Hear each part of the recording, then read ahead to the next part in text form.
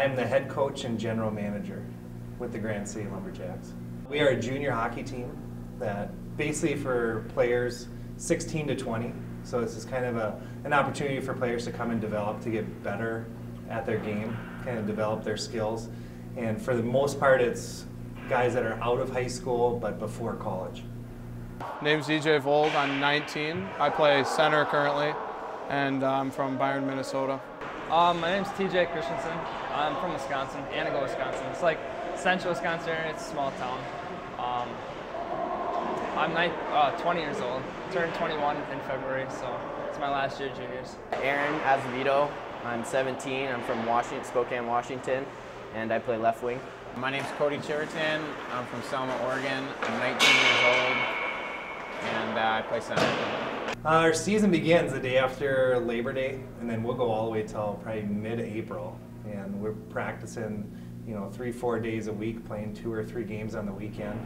Um, so it's a long season. We play 48 regular season games and then playoffs. So, like typically, we'll play about 60 games during the year, which compared to, let's say, someone at Minnesota High School, they're playing 24 regular season games and then maybe six in playoffs.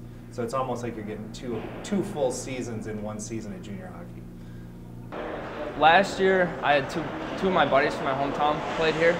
Um, one played here for two years and moved on to play college hockey, and said he loved it here. Co- Coach Willen is a great guy. Coach Howie, you know, they all do good things for you to move you on to the next level. So I got good word from those two. Ended up talking to the coach, and just things worked out. Ended up moving here. Favorite part I'd have to say is all the fans, just the camaraderie of the team, just everyone's like a family. And then the uh, problems I face is I'd say school. I go to school right after practice, then I go home and I have online schooling, and then usually team workout, and then I'm done for the day and then start over every day. And it's just really exhausting on the body. Well, we made a change this past season from the Minnesota Junior Hockey League over to the North American Three Hockey League, and we made that decision. It was a business decision. Um, felt that, and also felt that it would be better for our players, more exposure for them. We have teams ranging, you know, from the Minnesota area all the way out to Pittsburgh, Pennsylvania. So it's a huge league. It's 16 teams, and the competition is just a little bit higher than what we faced last year in the Minnesota League.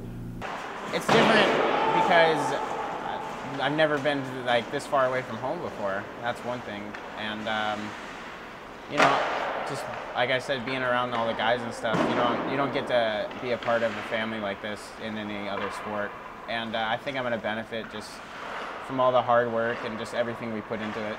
It's going to help me out later in life. Well, I think you know we had a we coming off a very successful season last year where we won the regular season championship and the playoff championship. Um, we were a little disappointed with our play at nationals, so I think kind of going into this year we have some you know a good core of veterans that came back. So we have I think 10 or 11 veterans that came back from last year's team. So I think the biggest adjustment for these guys is the change in the leagues. You know, it's a it's a different level of play. So now this year, you know, they realize that they have to show up and play every game, which is going to prepare them for college. They can't take any nights off. You take a night off in this league, you're going to lose. You know, and I know it's an old cliche, but that's exactly what they're getting right now. We get treated very well here, and they're looking to make us better, better hockey players and better people. So everywhere else I've been, it's kind of just been hockey, but here they care about you as an individual and as a hockey player.